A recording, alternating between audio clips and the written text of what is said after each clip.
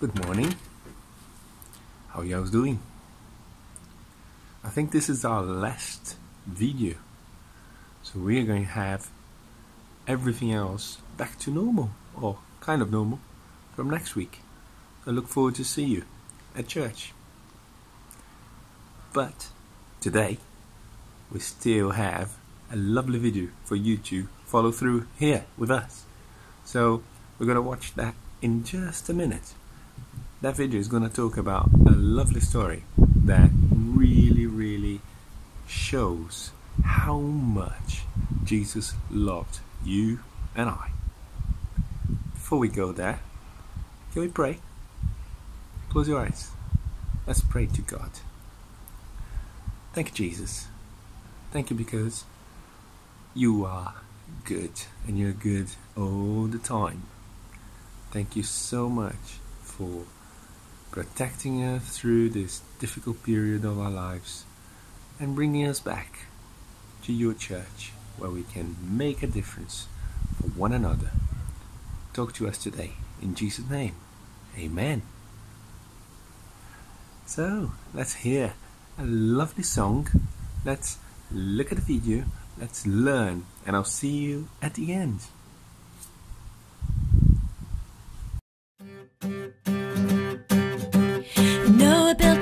Enormous boat that kept the birds and animals afloat.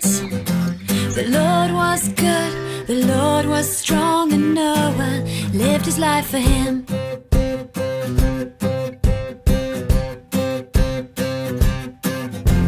Moses led his people through the sea, taking them away from slavery.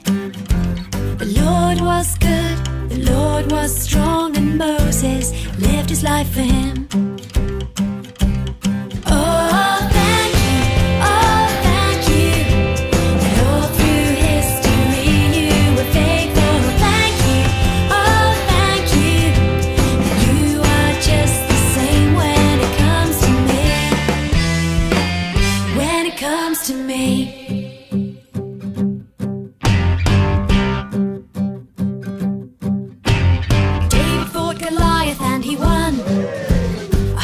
Shepherd boy became a king.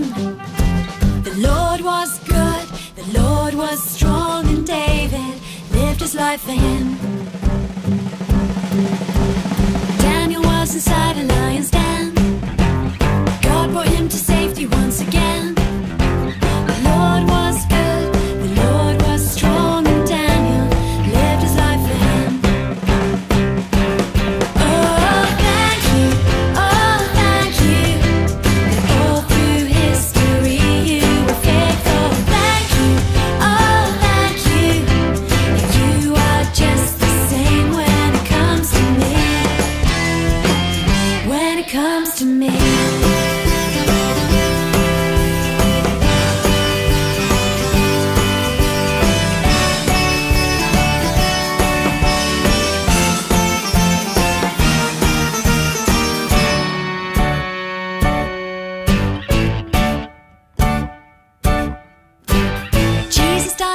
Take away our sin so we could get to know our God again.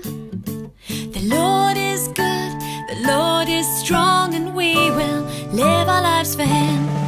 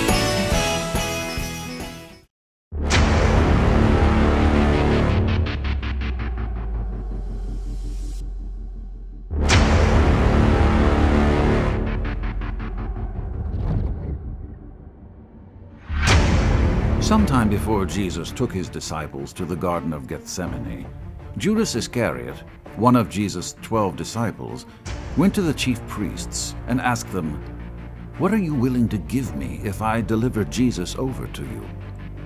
They paid Judas thirty silver coins to carry out this deed.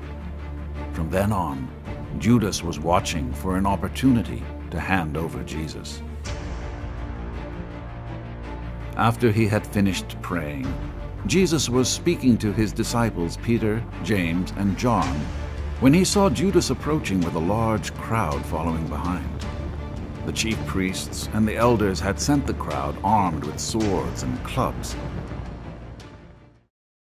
Because the people in the crowd did not know what Jesus looked like, Judas arranged a signal so that they would know which person to arrest. Judas said, The one I kiss is the man.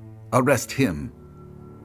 When Judas arrived at the garden, he walked right up to Jesus, said, Greetings, Rabbi, and kissed him. Jesus looked at Judas and said, Do what you came for, friend.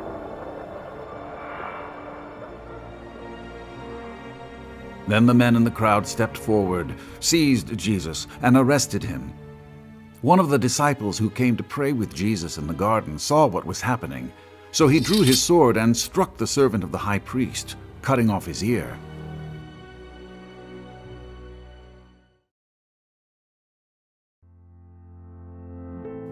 Jesus told his disciple to put his sword away and explained that everything was happening just as it was supposed to and just as it should. Do you think I cannot call on my Father to save me from this? But how then would the Scriptures be fulfilled that say it must happen in this way? Jesus then turned to those in the angry crowd and said, Am I leading a rebellion that you have come out with swords and clubs to capture me? Every day I sat in the temple courts teaching, and you did not arrest me.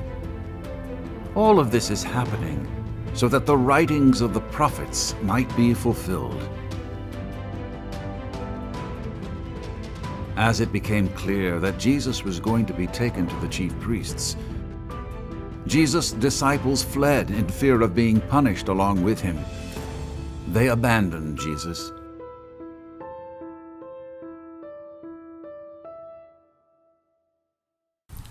Hello again.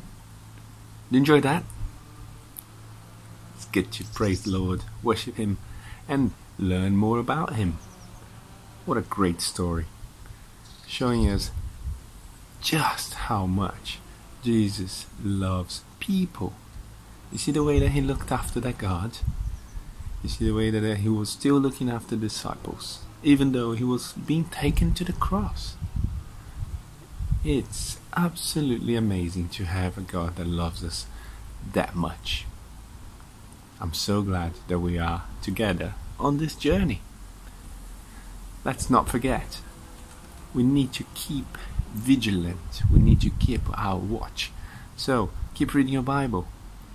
We've got a lovely aid for that. We've got that booklet, and if you don't have that, get in touch. We'll send you one. Or ask ask us at church. We'll be able to help you through it as long as we are together, we're reading, we're looking for God, we will be looked after by Him. Everything that you possibly can to get closer to God, closer to Jesus in a relationship. As I said before, it's been lovely having you guys here on this side of the screen. I hope you guys are all okay on that side of the screen, and I really hope to see you soon. From me and from the Gateway Kids team, hope to see you soon. Take care. Goodbye.